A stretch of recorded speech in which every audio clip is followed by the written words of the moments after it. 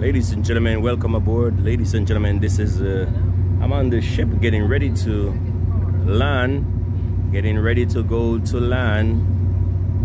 I was just saying, my brothers and sisters, engineers are smart, engineers are good, engineers can do a lot of things. But have you ever take some time to think that if engineers are so smart and architects and all who put things together, if they're so smart and can create so, so many great things, what will it be when we get over yonder?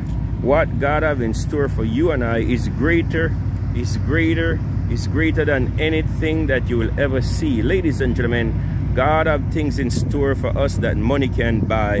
Revelation 22 verse 17 say you should Take the water of life freely. That's a trip God is giving you that money can buy. Take the water of life freely. And God in Revelation say, I counsel of thee to buy of me. Ladies and gentlemen, our righteousness is as filthy rags. But if we, my brothers and sisters, if we accept the gift of God, St. John chapter 3 verse 16 and Revelation chapter 22 verse 17, take the water of life freely, we will able to be qualified to be on the trip, the greatest trip for mankind is, ladies and gentlemen, when the roll is called up yonder, when Jesus shall come again. We can be qualified not because of ourselves, but because of the gift of God. St. John's chapter 3, verse 16, For God so loved the world that he gave us his only begotten Son, that whosoever believeth in him should not perish, but have everlasting life. Ladies and gentlemen, for us to get on this great trip, this great trip, this awesome trip, we must accept Jesus Christ as the Son of God. Ladies and gentlemen, not just that, but we must obey his word.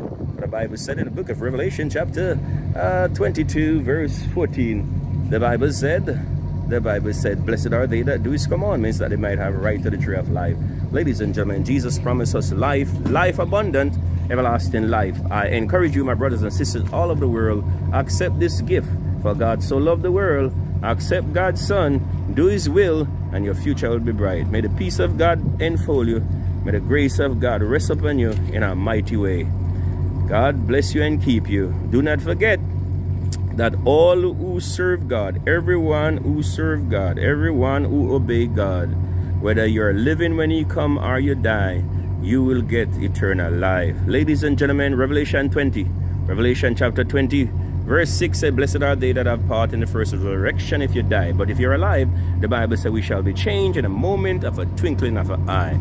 God is great and God is good.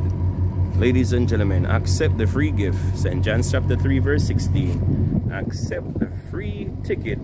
Revelation 22 verse 17. Take the water of life freely. May the peace of God enfold you. May the grace of God rest upon you in a mighty way. Now we are coming to land from off the sea. It is so beautiful, it is so awesome. But this is nothing in comparison to the things that God have in store for those who love him. Amen. Amen. God bless you and keep you. Have a nice day or night. This is Evangelist F Baxter saying, God is good and God is great. He's worthy to be praised. Angels bow before him. Heaven and earth adore him. Here, Evangelist F Baxter is taking a little time to praise him because God is worthy to be praised. To God be the glory. Great things he have done. So lovely the world that he gave us his son. God bless you.